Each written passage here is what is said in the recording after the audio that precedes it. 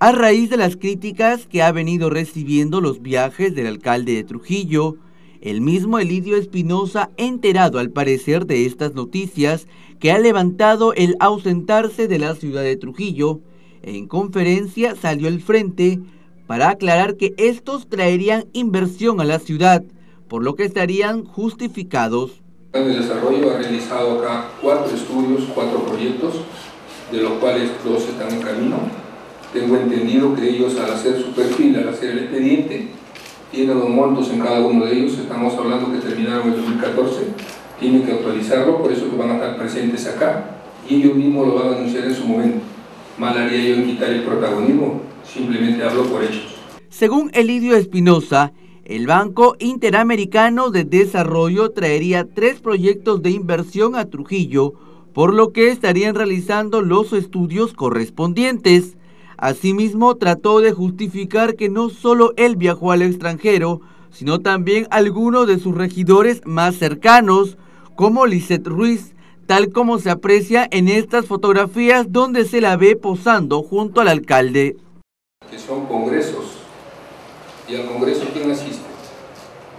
Asisten regidores, asisten funcionarios, asisten empleados, asisten alcaldes.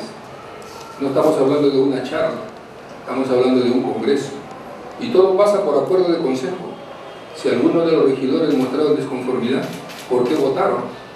Y la votación ha sido unánime. Y las leyes son claras. Y acá se indica quiénes son los que viajan. Y si es aprobado por unanimidad, ¿de qué después estamos nosotros tratando de reclamar? Cuando se trata de confundir a la opinión pública, decimos una cosa en sesión de consejo, levantamos nuestra mano, expresamos nuestra opinión y aprobamos unánimemente, ustedes pueden solicitar las actas de las sesiones de consejo y van a ver. Así que no es lo que me puede decir un titular, los temas son claros y todo está dentro del marco de la ley. En los congresos, ustedes van a ver ahora en, a fines de noviembre, la cantidad de personas que vienen de cada uno de los municipios. Dijo que la presencia tanto suya como de las personas que lo acompañaron fue aprobada en sesión de consejo, así como su viaje a Huánuco. Nosotros, las autoridades, tenemos que vivir de esa manera. Uno sentándose en su casa no consigue nada, hay que salir. Más aún cuando en una sesión de consejo se aprueba. Acá nadie viaja por su cuenta.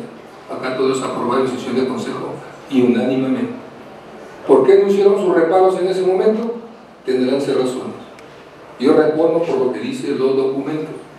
Y los documentos te hablan de unanimidad y la unanimidad significa estar todos de acuerdo.